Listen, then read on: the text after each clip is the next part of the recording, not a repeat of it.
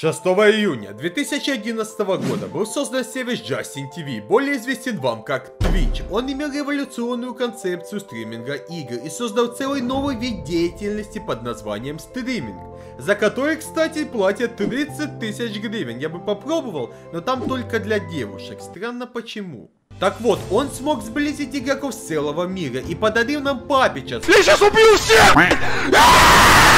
За что мы будем вечно благодарны. Но пришло новое время. Новых игроков и новой революции на поприще стриминга. Стримы в ТикТок. Так, стоп, никого не блокируем. У них есть имена Тат.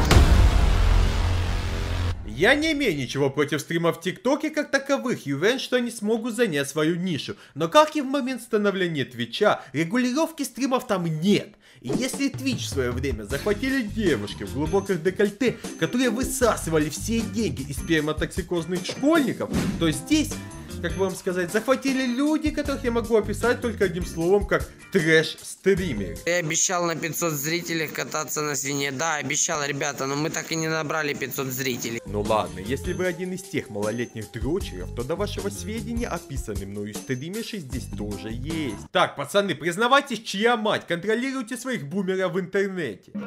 Давайте дружить, блядь. Само собой, здесь есть не только плохой контент. Люди показывают свои хобби, как они работают, как они играют в игры или просто общаются со своей аудиторией. Но на каждый такой стрим в топах стримов найдется ответочка со стороны трэш-стрима. Что вы сделали за 500 гривен? Я тебе фокус покажу. Подожди, скину 500 гривен, я тебе фокус покажу. Гляди. На. Условно их можно поделить на много подкатегорий, но начнем мы, пожалуй, с моей любимой, которую я называю доска объявлений. Это когда человек, он же стример, сидит на фоне стены, которая просто увешана прайс-листами с разными заданиями, просто на любой изощренный вкус. Ровно 10 сантиметров мы рвем. Здесь уже все 30.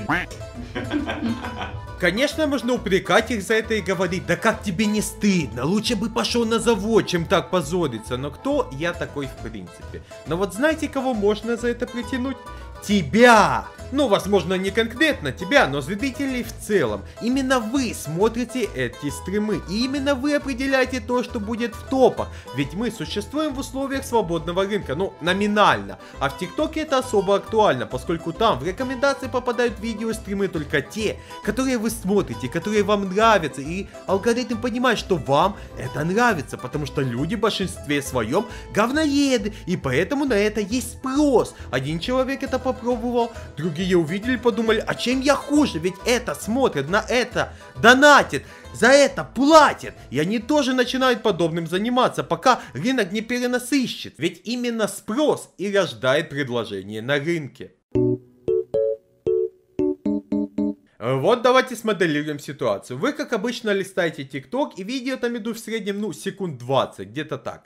И человек, который сделал это видео, должен меньше, чем за 20 секунд успеть заинтересовать вас, чтобы вы досмотрели его до конца. А теперь вы листаете и натыкаетесь на стрим, где человек сидит и играет в какую-то игру. А на стримах динамика намного меньше, ведь они идут не запланированно, не по сценарию, а как, ну, как пойдет, так сказать. И какой шанс, что вы откроете будете дальше смотреть этого стримера?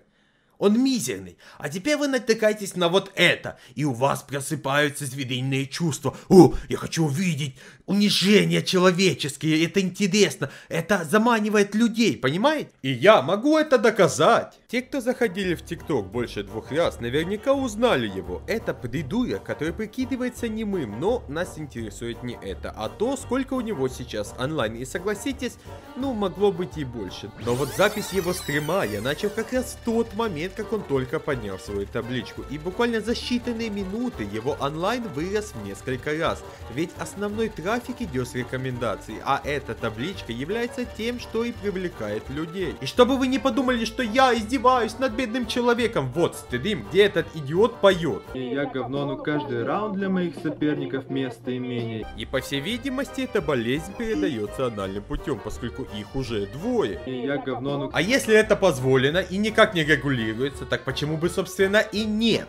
И что интересно, я ни разу не натыкался на подобную концепцию на англоязычных стримах. А англоязычного контента у меня в ленте очень много, ведь как иначе я смогу воровать идеи, в смысле адаптировать.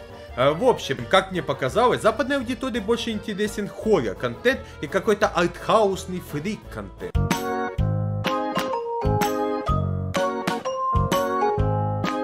И возможные причины, почему это так, я придумал две. Первая это то, что у них отсутствует легендарнейшая смекалка, которая позволяет выжить абсолютно в любой ситуации. А второе это то, что у них есть минимальные пособия, пособия по безработице, которые в принципе перекрывают возможные доходы, которые можно получить вот таким вот способом.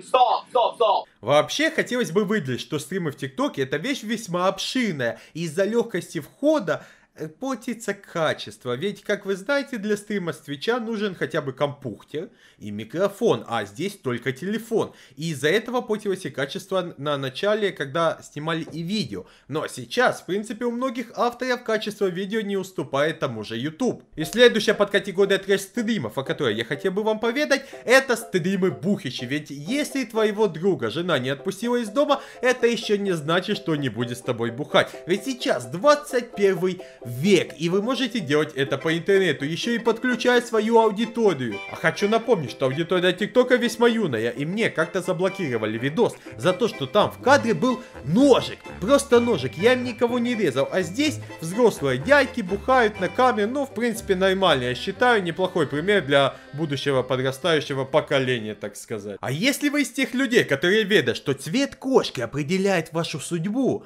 тогда вам к этим женщинам, которые за символическую плату предскажут вам будущее. Но это не так интересно. Не так интересно, как тот бизнес-план, который я придумал на их основе. Ведь, смотрите, для этого вам не нужно покупать мои дорогостоящие курсы и тратить на это много денег. Вы просто сможете зарабатывать деньги. Вот, реально. Смотрите, вы донатите одно из них. А таких мошенников тут просто дохренище. Выбирайте любого, они все честные, поверьте мне. Так вот, вы донатите им со словами, чтобы они узнали, куда пойдет биткоин, вверх или вниз на следующей неделе. И все, безбедная жизнь вам обеспечена. И не переживайте, все они честные, ведь подобные экстрасенсы, даже при условии того, что они знают будущее, и, например, могут узнать, какой лотерейный билет будет выигрышным, они не пользуются этой своей силой, они за 50 гривен на стриме предсказывают вам будущее. Кстати, а помните тот период времени, когда в любом классе был Додик, который считал просто супер смешным, просто пиком юмора пародировать Витальку? Да, помните? Так вот, он вырос. Наташенька! Пожалуйста. Все не так, я не понял. Не похоже. Если что, эта информация была для украинцев, но чтобы вы поняли, о чем я, представьте додиков, которые пародируют драмшута и джумшута. Начальниками никуда не бросили. Это аналогичная ситуация. А еще есть подобные индивиды, так сказать, которые на своих стримах занимаются тем, что просто подписываются друг на друга. Я, я сейчас серьезно. Они показывают экран своего телефона, на котором видно, кто подписался, подписываются в ответ и кричат, типа, йоу, забирайте того, забирайте этого, подписывайте в ответ. Зачем? Это какое-то бешеное дрочество на цифры. Это просто цифры. Такая аудитория, таких подписчиков вам ничего, в принципе, не даст вообще. Плюс, это ТикТок. ТикТок.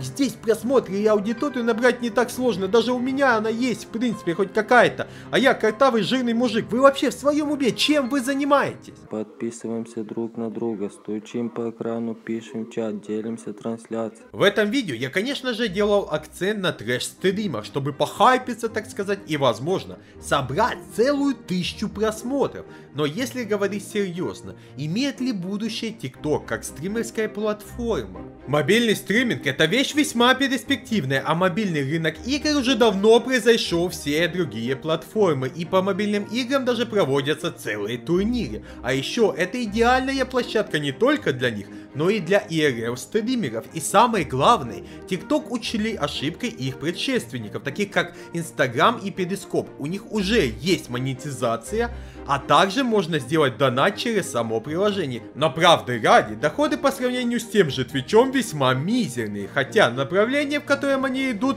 выбрано правильно. В общем, буду с интересом наблюдать за развитием стримов на этой платформе, ведь даже у меня там есть канал на 100 с хреном тысяч подписчиков. Так что подписывайтесь на него, на этот YouTube канал, комментарии, лайк, колокольчик, все что нужно. И вам спасибо за то, что оставались со мной на протяжении всего этого видео. Еще увидимся. Dungeon Master. Или может не Подпишись, не ленись на канал.